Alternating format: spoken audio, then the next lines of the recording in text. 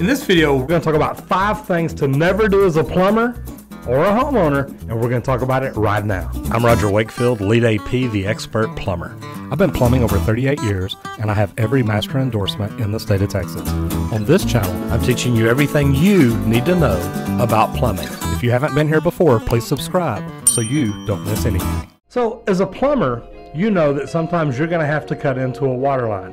Now, earlier I said plumber or homeowner because sometimes homeowners may decide to work on their own plumbing. And you know what? I get that. Here in Texas, as long as you own the house and you are the registered homeowner, you're allowed to work on your own plumbing and do anything plumbing. Now, you still have to register it, you still have to pull a permit, you still have to get an inspection. So, there's still things that you have to do to make sure that you do it as well as any plumber. So the first thing that I'm going to tell you as a plumber or homeowner, either one, if you're cutting into a water line or taking one apart, turn the water off. Guys, I can't tell you how many times. Now remember, I've done commercial work, I've done residential, I've done new construction, I've done service, I've done all of it. I cannot tell you how many times I have seen plumbers or other people cut into a water line that's live or start unscrewing something thinking they're going to change something out and water just starts spraying everywhere. Guys, remember if you are working on a water line, turn the water off. Turn it off before you do it. Make sure everything is good and secure and tight before you start putting it back together. That way you don't have any leaks. That's one thing when I teach people how to work on their toilets or garbage disposal or, or anything else. You know, make sure you don't have any leaks before you start turning everything back on.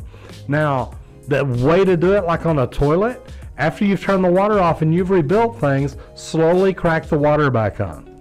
That way, if there's a leak, you can crack it back off real quick, snug up what's there, and then go from there. Second thing, and hopefully most of you plumbers know not to do this, never use a saddle valve. Guys, saddle valves are something that, God, I remember them around when I was a kid. And it's literally a clamp that you clamp on a water line that goes in and makes a hole and allows water to actually penetrate the line or go through the line that's hooked up to it. The problem is these old valves tend to leak a lot. Now, man, they were a great idea. And, and I love the theory behind them. And even in some big commercial jobs, I've seen them bolt on valves like that. Now, I'm not saying that they're not good, but guys, why not go ahead and just spend a little bit more time cutting the water line, installing the T in a valve, or doing something like that? Homeowners, man, these saddle valves, they look great, and you can get them at the box store. But I'm telling you, if I were you, I would take it apart, put on the right valve, and have something that's going to last you forever. You will be much happier in the long run. And as a plumber, if you're putting these in and charging people for it, man, that is just not a good way to do business. Number three, if you're threading something and you're having to put Teflon tape on it, guys, make sure the Teflon tape goes the right direction.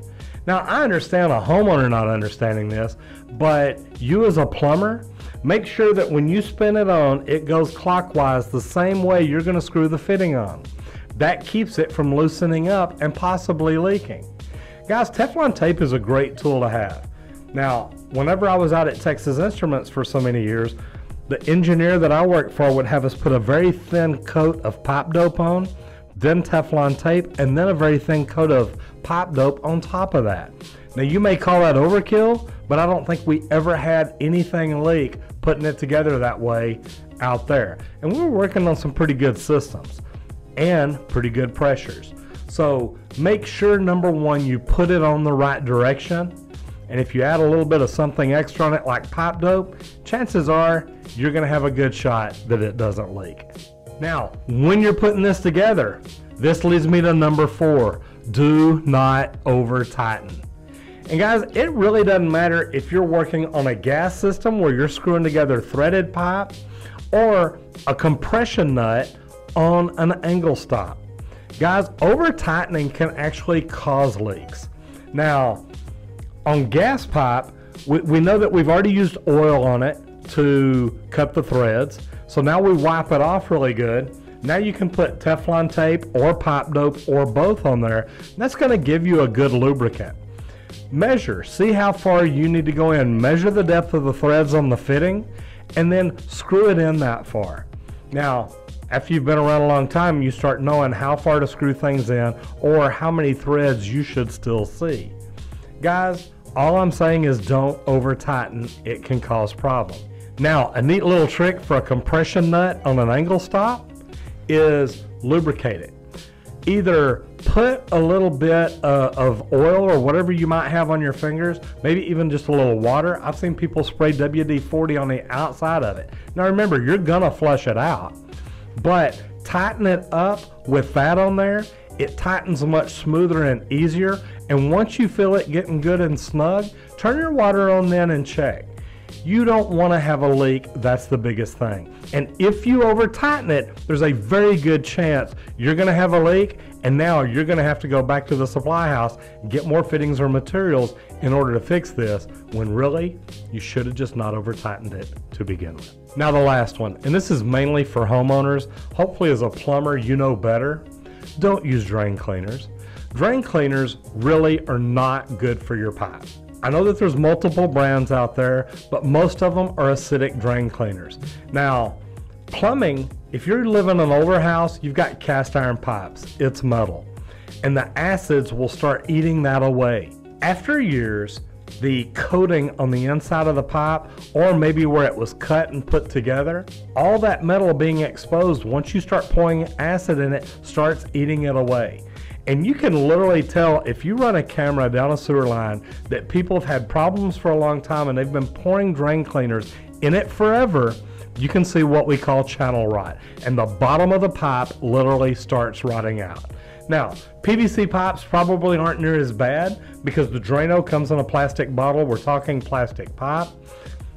I'm not a chemist. I can't tell you what all chemical properties there are in this pipe and this bottle and whatnot. But I'd say you're probably a little better off with that if that's something you feel like you have to use. But guys, get a sewer machine. Do the job the right way. If you've got a stopped up sewer, there's really only one way to clean it out properly, and that's run a sewer machine and then run a camera behind it and see what the problem is.